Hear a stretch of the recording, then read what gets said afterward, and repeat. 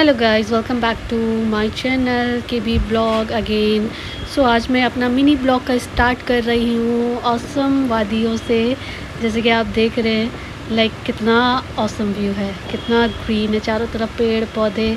और ये जो एकदम जो बोलते हैं ना, सूरज की किरणें आ रही है छलते हुए। वाह कितना औसम व्यू है। सो so गाइस सबसे पहले आपको इंट्रोड्यूस करती हूँ कि हम लोग जा रहे हैं आज बहुत स्पेशल जगह। स्पेशल जगह बाबा नीम करोली के धाम।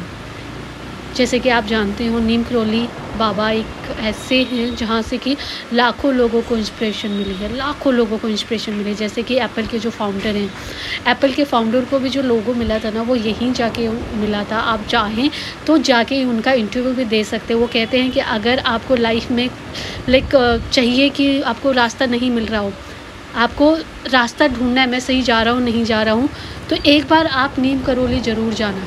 वहाँ बैठ के सोचना ज़रूर बिकॉज़ वहाँ का जो एरिया है ना, जैसे आप आगे जाके देखोगे ना, वो जिस जगह पे बसा हुआ है ना, यार वहाँ बहुत पीसफुल है यार, बहुत पीसफुल जैसे कि देखिए, उसको मेडिटेशन पॉइंट भी बोलते हैं, ये देखिए।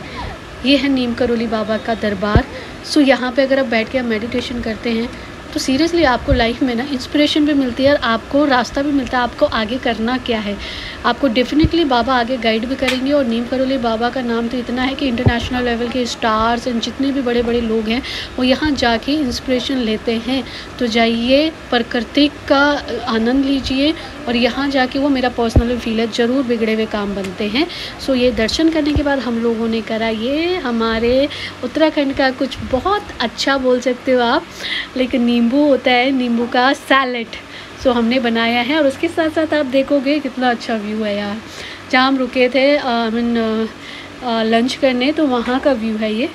सो इन्जॉय कीजिए। Thank you so much watching my video